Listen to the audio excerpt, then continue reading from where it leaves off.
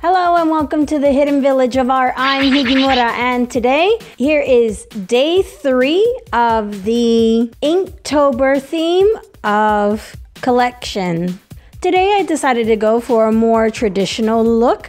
So this time I just worked only with using the pencil and ink brush.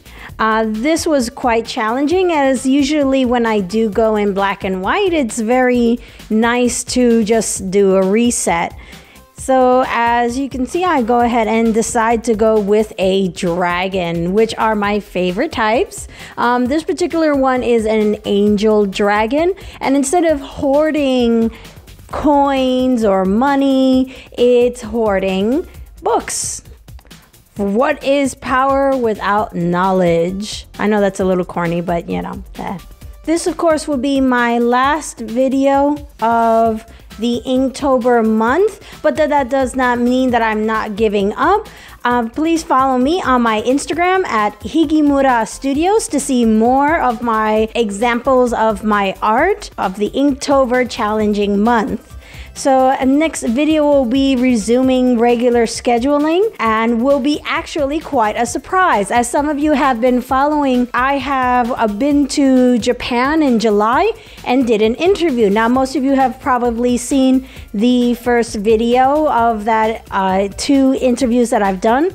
So the first one was the interview with the underground music journalist Eli P, which should be popping out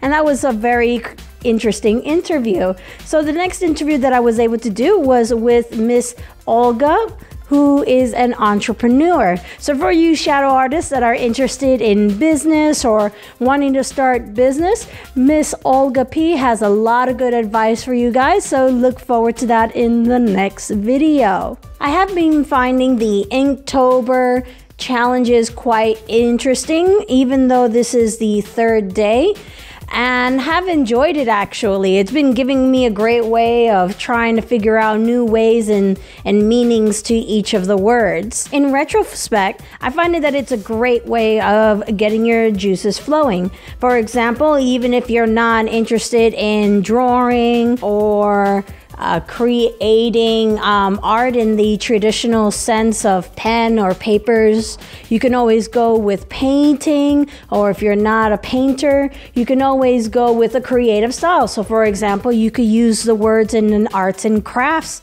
type of way. So, for example, you with collect, you can probably put together uh, a collection of different types of cupcakes, for example. So there's a lot of good ways of being able to use the Inktober without actually doing inking. It's a great activity to just go ahead and get the juices flowing. Speaking of getting the juices flowing, I have recently received an email from just that agency talking about a new exhibition. So I'm hoping to cover that new exhibition here in Melbourne and we'll be giving more info in the next video. So look forward to that real soon for those shadow artists who love going to galleries or checking out new exhibitions. This illustration will be done in three, two, one. Hmm, I don't think it's too bad. Uh, let me know in the comments below what you guys think. Probably need to do better with the shading. Uh, anyway, I look forward to your comments to helping me out improve. Now it's time for the question of the day. To my fellow shadow artists, do you find working in black and white, whether it's in pencil or ink, a great way of restarting yourself?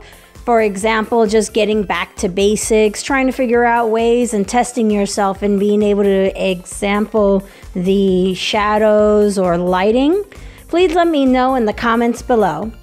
So let's take this out. If you enjoyed this video, brush that like button. Want to see more? Hit that subscribe button. Want to be in the know and share ideas? Join our Facebook page at The Hidden Village of Art. And in the words of my ancestors, shadow artists vanish.